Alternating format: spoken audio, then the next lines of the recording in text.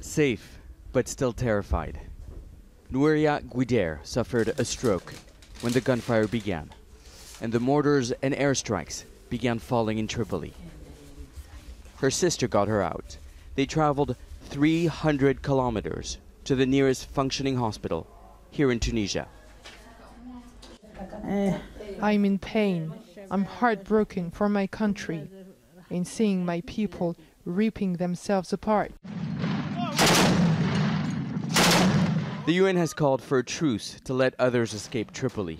The main route leads to Tunisia, where security forces are on high alert. This behind me is the road that leads to Libya. Now, security forces would not allow us to film any further, they say as a precautionary measure, because just a few days ago, General Haftar tried to take control of this road from the Libyan side, but failed. This is of strategic importance, not just for the Libyans, but also for Tunisia. Tunisian security forces tell Al Jazeera they've counted 500 Libyan vehicles crossing the border in Ras Jedir since warlord Khalifa Haftar began his offensive. It's not just civilians leaving. Members from rival groups have come for medical treatment, sometimes sharing the same doctors in the same ward. Il manque de, de, de médicaments, il manque de...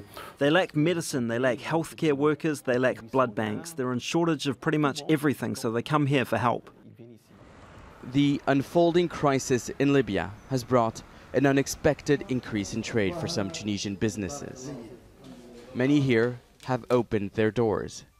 Their country could become a lifeline to many more Libyans if the conflict worsens. Nicolas Haque, Al Jazeera, Zarzis, at the Tunisian Libyan border.